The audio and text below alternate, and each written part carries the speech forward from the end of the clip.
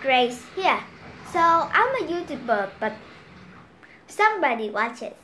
I'm speaking English, even though I'm a Vietnamese people. You know, my house a little noisy a bit, but don't care anyways. Hope you hear me, even though this COVID-19 uh, today.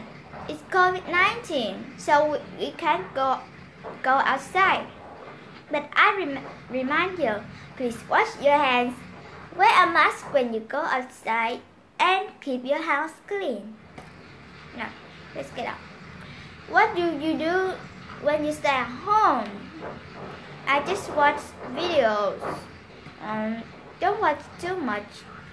Your eyes will get hurt like me. I'm wearing glasses. So, um, how about drawing? I love drawing too. I draw a lot of pictures and read books. Hmm, and, and spend time with your family. Now, even though you have to do housework, but I'm not doing it. But just okay anyways. So I don't know what to do at home now. Do you guys know how to do at home? What do you do today? We can't meet our friends, teachers, or school. Aw, we can't go play outside too. We have to stay at home because we don't want to get infected. So, what do you guys do at home? Let, let me know in the comments. So, even though I kind of boring, but I have nothing to do. I just, my family just went out and I'm all alone with my grandpa and grandma. So, they have to cook food for me. So, I have nothing to eat. Even though I have it just seaweed right here. I'm hungry though. I'm hungry, you know. Just give me a sec. Hmm. Mmm. Delicious seaweed. I love seaweed. Seaweed's healthy for you.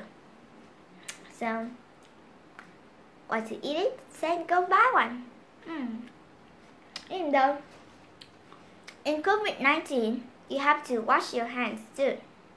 And eat only cooked food. Don't eat some raw food. It's not good for you. No, no, no. You have to eat vegetables and fruits too. It's very healthy. Oh, you can drink smoothies from fruits. Mmm, I love it. In the, I usually eat oatmeal. It's good. When you go in COVID-19, don't be so sad because you can do it in COVID-19 though, even though you're sad because you don't meet your friends. But it's okay, you can meet your friends when when COVID is over. Hmm. I wish I could meet my friends again. So, even though it's short though, but hope you stay home, be safe, don't go outside. Goodbye everyone.